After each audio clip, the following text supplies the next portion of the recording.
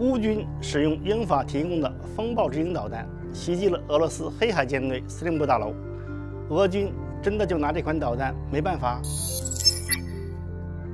大家好，我是海河。前不久，俄罗斯黑海舰队总部大楼遭到乌克兰数枚风暴之鹰导弹袭击，乌克兰随后宣布了自己的重大战果，宣称空袭造成了一百零五人受伤，三十四名俄军军官丧生。其中包括黑海舰队司令索科洛夫。然而，索科洛夫随后就被东正教大牧首复活了，还出席了俄防长绍伊古主持的国防部会议。这种转世速度比导弹还要快。但黑海舰队司令部的确遭到了重创。我们注意到，按照俄军的说法，乌军发射了数枚风暴之鹰导弹，俄军拦截到了其中五枚，但是。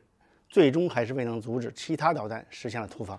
风暴之鹰导弹确实不好对付，它拥有先进的影像地形匹配系统，能够在距离地面一百米的高度飞行。飞行高度低意味着雷达探测盲区大，而且还容易受地面回波的干扰。其次，风暴之鹰导弹具有一定的隐身能力，不仅外形隐身，雷达不容易发现，而且还有红外抑制技术，红外信号特征也不明显。不管是雷达制导还是红外制导的防空导弹，跟踪和锁定风暴之影的难度都成倍提高。在网络流传的视频中，我们也看到过俄罗斯道尔 M1 防空导弹拦截失败，多枚导弹均未锁定风暴之影导弹的情况。难道西方在经过无数次尝试后，终于找到了一款真正的抗俄神器？其实也不尽然。事实上，隐身技术不是万能的。对于雷达隐身，准确表述是信号太弱，会被当作杂波滤掉。红外抑制技术也是如此，可以降低红外信号，但不能完全消除。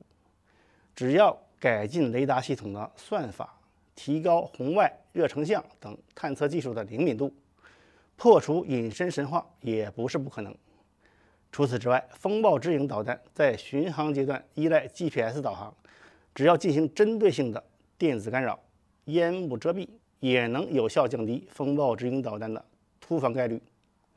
在实战中也是如此。风暴之影导弹刚刚投入战场时，俄军确实不太适应，但很快就找到了应对办法。风暴之影的作战效能明显降低，俄军也有过不少击落风暴之影导弹的战例，并缴获过相对完整的导弹残骸。由此可见，风暴之影也并非是包打天下的无敌神器。既然找到了办法，为何还经常有风暴之影导弹突防成功的消息？其实，任何武器，不管是进攻还是防御，都存在概率。风暴之影做不到百分之百的突防，同样，防空系统也做不到百分之百的拦截。乌军在使用风暴之影导弹时，为了提高政治影响力，打击地标性设施。往往采用过饱和的火力，这也是俄军经常出现遗漏的重要原因之一。